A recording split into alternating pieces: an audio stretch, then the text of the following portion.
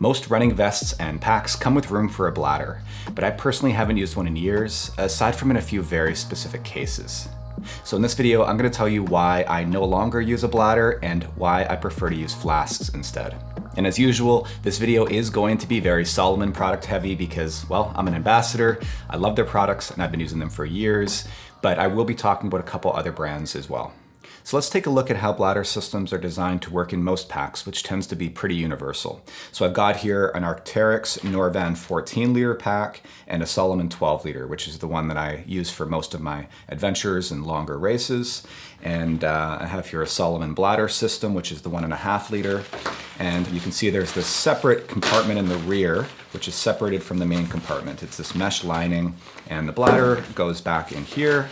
And the hose itself um, would be fed through the bottom and in this case kind of brought up along the side, along the front. Um, and there are some, some dedicated clips here. Um, and that's the same thing on the Salomon 12 liter. If I flip this around, again, there's this sort of mesh liner that um, creates a separate compartment for the bladder, which separates it from the main pocket up front. And again, here the hose is going to be fed through and then brought along through this pocket here and clipped um, to the pack here so that the hose comes up to your, to your face. Now, Salomon's packs come with this special insulating sleeve designed especially for the one and a half liter bladders, uh, but the bladders themselves are sold separately, which tends to be the case with most running vests and packs. Um, I should point out though that there are some larger bladders like this one here, which is an older three liter bladder that I used to use for hiking, uh, but this of course is gonna be much too big for most running vests. Okay, now there's a few design problems with bladders in my experience that make them just a pain to use. And the first most obvious problem is that, in most cases at least, you're gonna have to pull the bladder out to refill it. That might mean completely pulling the hose out, taking the entire bladder out, taking this top part off, filling it up from a tap or a creek or at an aid station, and then refitting uh, the hose and feeding it all the way through and, and basically doing it all over again. And that, that's fairly easy to do when your pack is empty, but as soon as this main compartment is completely filled up with stuff, it can actually be quite difficult to get a full bladder in here. You know, you can try to sort of hold your pack open and, and the bladder open under a tap, but not only are you going to likely get water all over your pack, but again, it's going to be very difficult to get this bladder to full capacity um, while still inside your pack when your pack is already quite full. And of course, the alternative is that you could empty your pack um, and then fill up your bladder while it's still in your pack and then put everything back in, but I'm not sure that that's any better. Bladders are particularly hard to get filled up at aid stations. Now there are usually volunteers who are more than willing to help fill up your flasks or your bladders.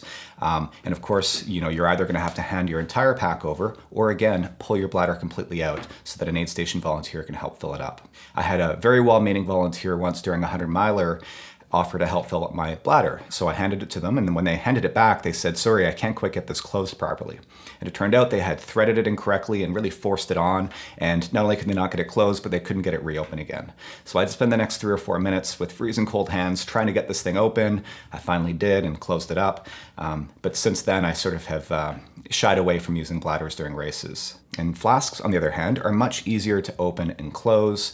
And what I'll usually do is open it up and hand the bottle to a volunteer, but I'll hang on to the lid and then close it up myself to make sure that everything's been sealed properly before putting it back in my pack. And that leads me to my second complaint about bladders, which is that they represent a single point of failure. So if a bladder does leak, and that's fairly common down here around the O-rings uh, where the hose attaches to the bladder itself, you know, if that does leak, then you're kind of screwed. Whereas at least with a flask, it's highly unlikely that you're gonna have two flasks leaking at the same time. So while they're far from perfect, um, at least you have some redundancy there. And it's really easy to carry a spare empty flask in the back of your pack, um, or of course to have one or two of these in a drop bag during a race. And when it comes to races, a lot of people like to be able to mix it up uh, when it comes to their fluids, which isn't possible when using a single large reservoir like a bladder. So with two flasks, for example, you might be able to have one dedicated to water and then one for electrolytes or Coke or anything else that you might want to pick up along the way. And bladders are also a lot more difficult to clean, especially if you're using something other than just water. Um, and that's mostly because of the hose. These hoses are very difficult to get clean. And I'm sure a lot of you have had this experience where you've put something like Nuun or some other kind of electrolyte powder in a bladder, and that taste is really hard to get out. Um, it can also discolor the bladder and uh, gunk up the hose and the attachment point as well.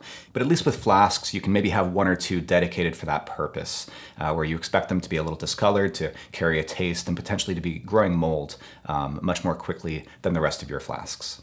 Now, take a moment to think about whether you've ever had this experience you get to an aid station, or maybe you finish a really long training run, and you realize that your bladder is still completely full. You've barely drank anything, um, you're probably dehydrated, or worst yet, you're maybe halfway between aid stations um, or between water sources in the backcountry, and you take a sip and you hear that dreaded gurgling sound as your bladder unexpectedly runs dry. Now, flasks make it a lot easier to monitor your fluid intake, whether you're trying to drink more or you're trying to ration your fluids.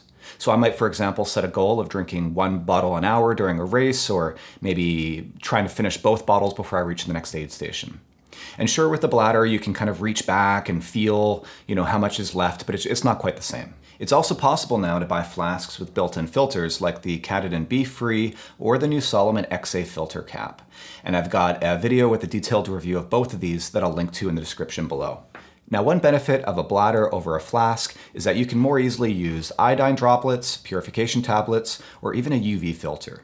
This is especially important if you want to filter out viruses in addition to bacteria and protozoa, but it's going to be overkill in most cases. And you do have to remember to keep a UV filter charged, and both tablets and droplets are going to add a funny taste to your water, plus they take time, whereas a flask with a built-in filter is instant, so you can just drink on the go. Now, last but not least, carrying all of your water on your back in a bladder only serves to further load the rear of your pack, instead of taking advantage of the front flask pockets that come on most running vests. So this one and a half liters of space is essentially being deducted from the total volume of the pack, which in this case is 12 liters. And that 12 liters also includes the roughly one liter of space up front designed for the flasks. So if you're leaving those front pockets empty, you're effectively only getting 11 liters of space out of this 12 liter pack and putting all of the weight in the back instead of distributing those extra couple of pounds to the front. Now you might be thinking, well, what if I need to carry more than a liter of water at a time?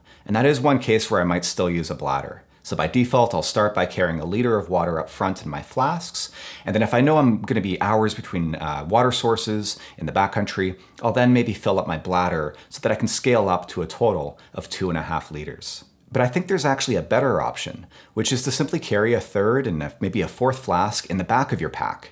You can then swap them out for the flasks in the front, and even take the filter off and swap that as well if you're carrying unfiltered water. And the old style Salomon 12 liter pack was actually great for this because you could keep them sideways here in this bottom kangaroo pouch.